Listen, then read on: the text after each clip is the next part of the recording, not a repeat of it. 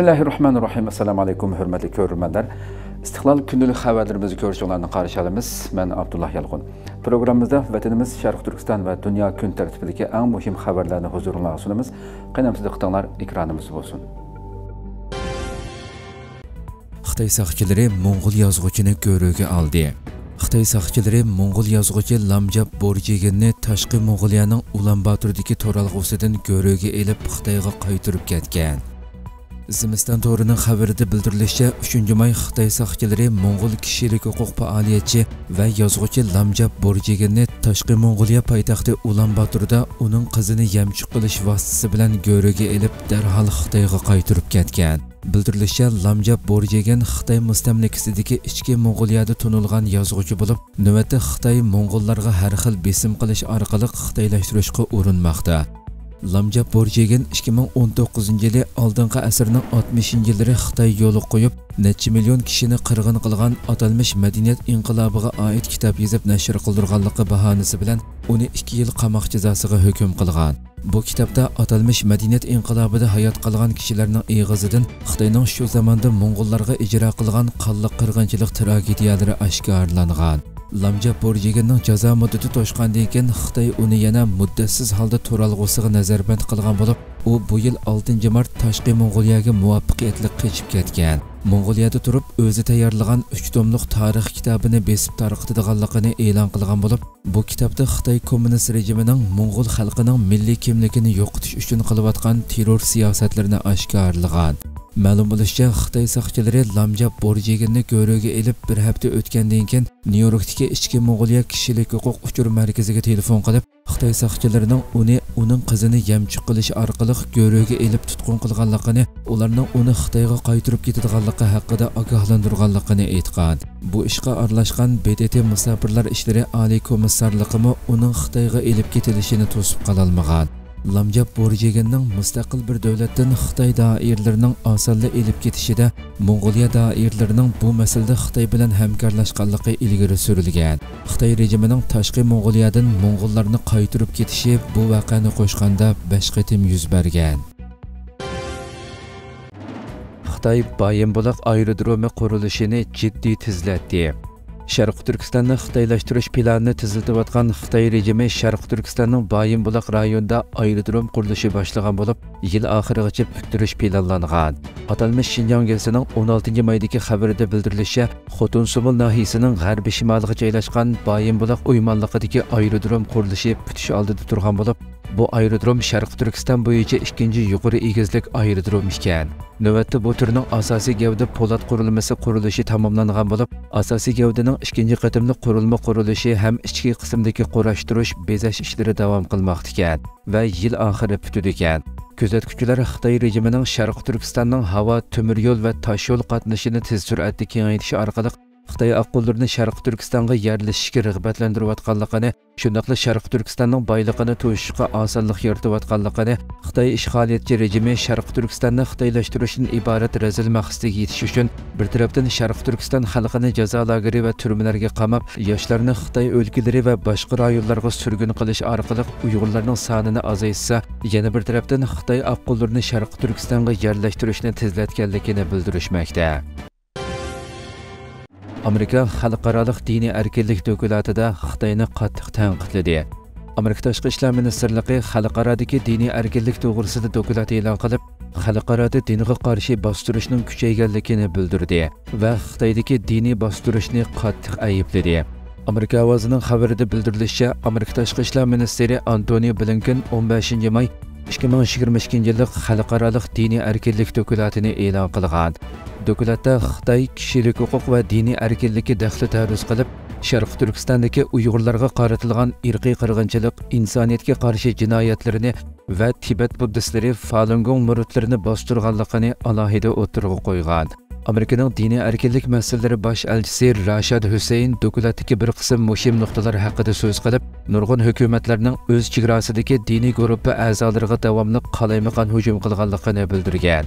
Тай уйгыр мусламанларны лагерларга камады, Тибет буддистларны дәвамлы бастырды. Nurgun кешеләр Хитаенның бастырышы ва зарба бериши сәбәплек чат әлгә качмакта дигән. Rashad Hüseyin sözliyeni xalqaro sahnede ikinci xil yeni yüzülüş oturga çıkanlıqını bir qism dövlətlərinin məscid və dua tilavet sorunlarına kirişki qoyğan çeklemesinin künsürü küçeygenlikini təkidləb, Xitayning Uyg'urlarning masjidlari va qabristonliqlarini vayron qilganligini yoki boshqa aslahalarga o'zgartganligini tilga olgan. Amerika tashqi ishlar ministrligining bir yuqori darajalik amaldori mazkur dokument e'lon qilinishidan ilgari taratqularga xitoy yanada dunyodagi kishilik huquq va diniy erkinlikni eng ig'ir dafsanda qilg'uvchi davlat degan mazkur amaldor yana amerika xitoyning diniy erkinligi daxli taruz qilish qilmishiga qarshi moliya jazosi va viza cheklamasi qatorliq tadbirlarni qo'llanmoqda Buningdan boshqa Amerikani Birlashgan Davlatlar Tashkiloti va Amerikaning ittifoqdoshlari bilan hamkorlashib, Xitoy doiralariga bo'lgan besimni oshirmoqda degan. Xitoyning bir beliqchilik paraxoti cho'kib ketdi. Xitoy bayrog'i esilgan bir beliqchilik paraxoti Hindi okeanida cho'kib ketdi. Turkiya ovozi radiosi xabarida bildirilishicha, Xitoy bayrog'i esilgan bir beliqchilik paraxoti Hindi okeanida cho'kib ketgan bo'lib, paraxotdagi 17 Xitoy, 17 Indoneziyalik va 5 Filippinlik to'g'risida hech qanday xabar yo'q ekan. Xitoyning Shandong o'lkasida tizimga oldirilgan 8-chi Lupon Layvenyu nomli paraxodning izdiriki tig'i aniqlanmagan bo'lsa-mu, izlash xizmati davomlashmoqda ekan. Filippin sahil bexatarligimi bu ahvolni yaqindan ko'zlayotganligini va Xitoyning Maniladagi elchixonasi bilan aloqalashayotganligini izlash va qutqizish atritining paraxod eng oxirgi qitim ko'rilgan rayonga avatilganligini bildirdi. rayondagi eng chong beliqchilik flotiga ega xitoyda sahil bexatarlik qismlarining qo'llashiga erishgan beliqchilik paraxodlari pat-pat dengiz tavalikida uzun vaqt turdi. Garchi voqeaning sababi to'g'risida hozirgacha hech qanday tushuncha berilmagan bo'lsa-mu ammo xalqaroliq dengiz tavalikidagi bo'ron va yuqori to'lqinning bunday hodisalarni keltirib chiqaradiganligi ilgari surilmoqda. Filippin janubiy dengizda laylimi belgi qo'yib egilik huquqini qo'g'didi. Қытайның түрлік тәктетлерге дөш келіп атқан Филиппин игілік құқықыны қоғдаш ирадысыны Жануби теңізді ләйлімі бәлігі қойыш арқылық намая қылды.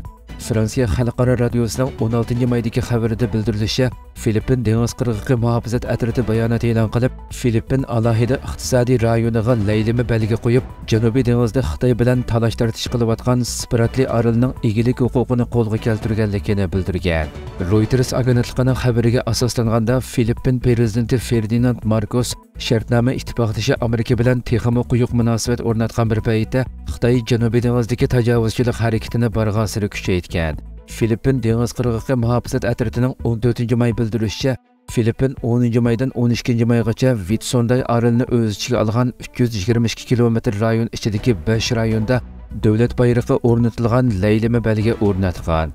Filippin dengiz soqchisi amaldori twitter hisobotida bu harakat filippinning dengiz chegarasi va boyligini qo'g'dash va dengiz okean savdosining bexatarligiga to'kib qo'yishdagi qat'iy irodasini gavdalantirdi degan Ma'lum bo'lishicha 2022 yili may oyida Filippin dengiz qirg'og'i muhofazat atriti Spratli orolidagi 4 orolga 5 yo'l boshlash laylimi belgisi o'rnatgan ekan. Amerika Iranning Rossiyani harbiy jihatdan qo'llashni davomlashtirayotganligini ilgari surdi. Oqsaroy Rossiya bilan Iranning mudofaa hamkorligining kuchayganligini ilgari surdi. Türkiye Avaz Radyosu xəbərində bildirilmişcə, Aqsaray Dövlət Bexatarlıq Kengəşinin strategik əlaqə məsləhətçisi John Kirby turda ötküzülgen muhbirlerini kütüveliş yığınıda İran'ın yanılıp Rusya'nın en çok harbi kolluğucusu işgallikini, onun Rusya'nı kamikaze uçkuçsuz hava aparatları bilen temelleşine devamlaştırıvatkallıkını ilgiri sürdü. Kirby, İran'ın pultur Ağustos'tan buyan asaslıqı guvahçı tiplik bulup Rusya'nı töyüzden artık uçsuz hava aparatı bilen temellegenlikini Moskvaning bu uchquchsiz havo apparatlarining ko'p qismini Ukrainaning mushim ul aslahalariga zarb berish uchun ishlatganligini aytdi. Jon Kerbi Iran O'rta Sharqda Amerika xodimlariga hujum qilish uchun ishlatilayotgan bu ilg'or tipdagi qo'shimcha uchquchsiz havo apparatlarini Moskvaga setib berishni davomlashtiradigan bo'lsa, Rossiyaning ularni Ukrainaga hujum qilishda ishlatishni davomlashtiradiganligini o'ttirg'i qo'ydi. U rossiyaning eronni boshqariladigan bombalar elektron va havo mudofaa yordam bilan ta'minlaganligini tilga ilib tehronning moskvadan milliardlagan dollarlik harbiy aslaha yordamiga erishishni xohlaydiganligini bildirdi.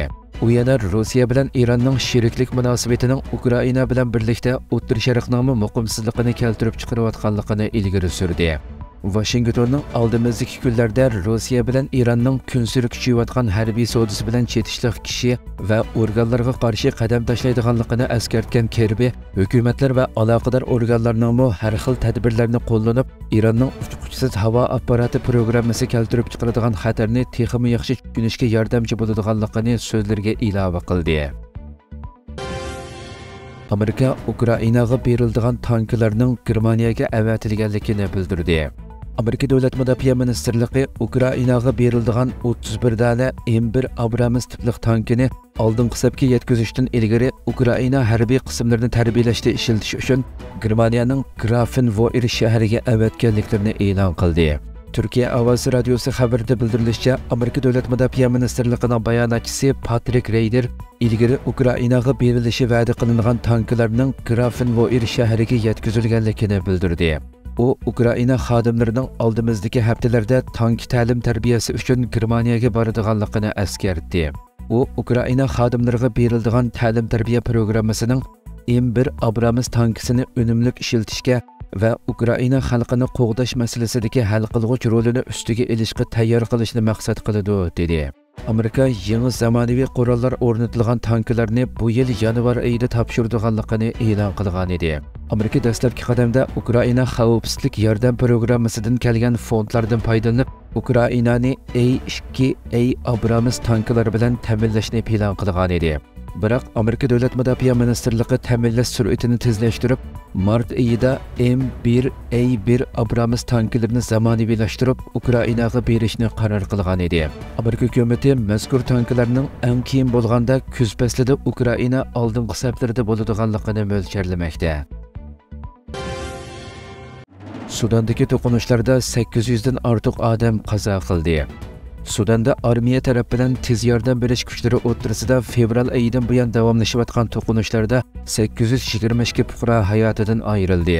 Turkiya ovozi radiosi xabarida bildirilishicha, Sudan doktorlar birlashmasi tarafidan e'lon qilingan bayonotda bildirilishicha, Sudan armiyasi bilan tez yordam berish kuchlari o'rtasida fevral oyidan buyon poytaxt Xartum Әл-Уби тифәк хәрби Дарфур өлкәсенең Көнәйдә шәһәре катарлык районнарда дәвамлашып аткан токунышларда 822 фукра хаятыдан аерылган, 3215 кеше ярланган yaralangan. 4-ayning 15 kuni atiganda Sudanning poytaxti Xartum va boshqa shaharlarda Sudan armiyasi bilan tez yordam berish kuchlari o'rtasida qurolli to'qinish boshlangan edi. Sudan armiyasi bilan tez yordam berish kuchlari o'rtasida davomlashayotgan to'qinishlarga xotima berilishi uchun Saudiya Arabistonining Jiddiy shahrida taraflar o'rtasida o'tkazilgan suhbat natijasida 5-ayning 11 kuni Jiddiy bayonnomasi imzolangan edi. Hurmatli ko'rmalarimiz shunday qilib bugungi xabarlarimiz mush yerda oxirlashdi. Atigi programmamizni ko'rishgacha omon bo'lg'aysizlar. Assalomu alaykum va rahmatulloh.